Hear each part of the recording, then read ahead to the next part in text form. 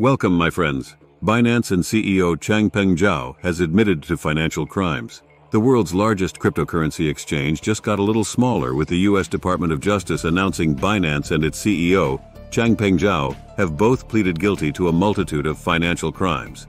As a result, Binance will fork out $10 billion to Uncle Sam in fines and settlements. But before we get into all of that, please press the like button and leave us a comment below. We would love to hear from you. Please subscribe and hit the bell icon so that you are notified of upcoming videos when they are released. And before we continue, a word from the sponsor of this video.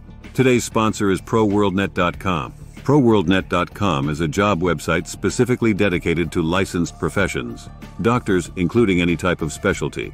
Nurses, and that includes all grades of nurses. Lawyers, regardless of area of legal focus. Teachers and professors, from kindergarten through graduate school as well as any kind of job that requires a government license or certification. And ProWorldNet.com also includes short-term gig-type jobs as well.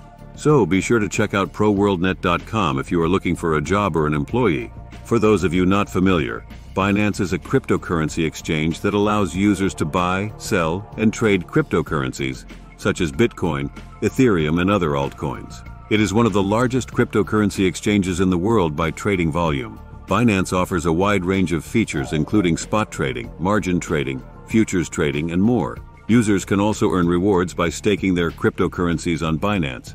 The US government dealt a major blow to the world's largest cryptocurrency exchange, Binance, which agreed to pay a roughly $4 billion settlement Tuesday as its founder and CEO, Changpeng Zhao pleaded guilty to a felony related to his failure to prevent money laundering on the platform. Zhao stepped down as the company's chief executive. Binance admitted to violations of the Bank Secrecy Act and apparent violations of sanctions programs, including its failure to implement reporting programs for suspicious transactions. Using new technology to break the law does not make you a disruptor. It makes you a criminal, said U.S. Attorney General Merrick Garland, who called the settlement one of the largest corporate penalties in the nation's history. As part of the settlement agreement, the U.S. Treasury said Binance will be subject to five years of monitoring and significant compliance undertakings, including to ensure Binance's complete exit from the U.S. Binance is a Cayman Islands limited liability company. The cryptocurrency industry has been marred by scandals and market meltdowns. Zhao was perhaps best known as the chief rival to Sam Bankman-Fried, the 31-year-old founder of the FTX, which was the second largest crypto exchange before it collapsed last November. Bankman-Fried was convicted earlier this month of fraud for stealing at least $10 billion from customers and investors. Zhao, meanwhile, pleaded guilty in a federal court in Seattle on Tuesday to one count of failure to maintain an effective anti-money laundering program. Magistrate Judge Brian A. Tsuchida questioned Zhao to ensure he understood the plea agreement, saying at one point, you knew you didn't have controls in place. Yes, Your Honor, he replied. Binance wrote in a statement that it made misguided decisions as it quickly grew to become the world's biggest crypto exchange, and said the settlement acknowledges its responsibility for historical criminal compliance violations. U.S. Treasury Secretary Janet Yellen said Binance processed transitions by illicit actors, supporting activities from child sexual abuse to illegal narcotics to terrorism across more than 100,000 transactions. Binance did not file a single suspicious activity report on those transactions, Yellen said, and the company allowed over 1.5 million virtual currency trades that violated U.S. sanctions. This includes ones involving organizations that the U.S. described as terrorist groups, including Hamas's Al-Qassam brigades, Al-Qaeda, and others. The judge set Zhao's sentencing for Feb. 23. He faces a possible guideline sentence range of up to 18 months. One of his attorneys, Mark Bartlett, noted that Zhao had been aware of the investigation since December 2020 and surrendered willingly even though the United Arab Emirates, UAE, where Zhao lives, has no extradition treaty with the U.S. He decided to come here and face the consequences, Bartlett said.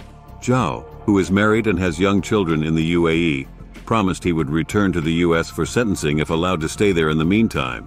I want to take responsibility and close this chapter in my life, Zhao said.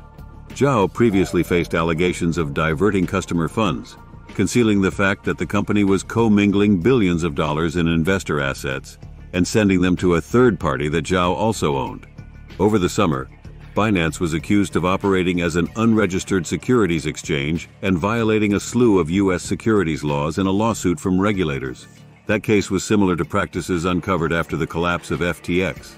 Zhao and Bankman Fried were originally friendly competitors in the industry, with Binance investing in FTX when Bankman Fried launched the exchange in 2019.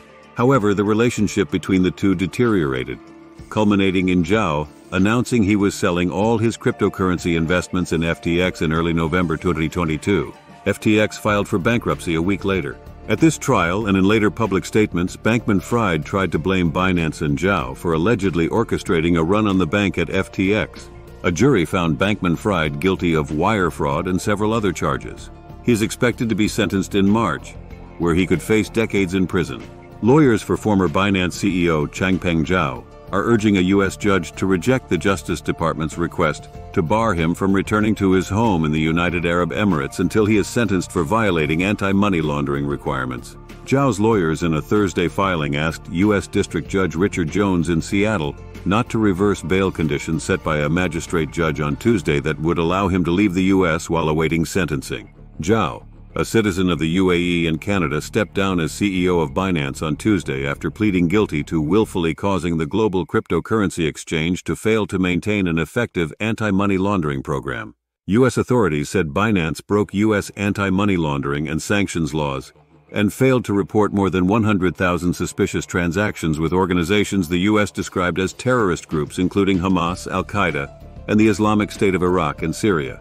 The company, as part of a plea deal, agreed to pay more than $4.3 billion. Zhao has agreed to pay a 150 million penalty to the U.S. Commodity Futures Trading Commission, and prosecutors in a Wednesday filing said he faces up to 18 months in prison.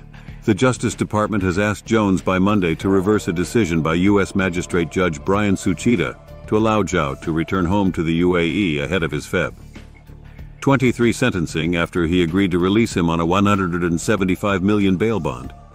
The government said it may be unable to secure his return if he chooses not to come back to the U.S. for sentencing, given that it has no extradition treaty with the UAE, and Zhao is a multi-billionaire with significant assets. But Zhao's lawyers argued that the former CEO had demonstrated he was not a flight risk by agreeing to a substantial bail package and by voluntarily coming to the U.S. to accept responsibility for his actions. Allowing Zhao to return to the UAE would allow him to take care of his partner and three children and prepare them for his sentencing, defense lawyers argued. The Justice Department responded in a brief on Friday that its decision at Tuesday's hearing to recommend Zhao remain free before sentencing was exceptional and was only because it believed the risk of flight he posed could be managed by restricting his travel. In the vast majority of cases, a multi-billionaire defendant who has pleaded guilty faces possible prison time and lives in a country that does not extradite its citizens to the United States would be detained. Justice Department lawyers said. So does this spell the end for cryptocurrency? Or just another speed bump on the way to world domination? But what do you think? Please leave us a comment below and hit the like button. We would love to hear from you. Please subscribe and hit the bell icon so that you are notified of upcoming videos when they are released. Please share this video on social media. Thank you for watching.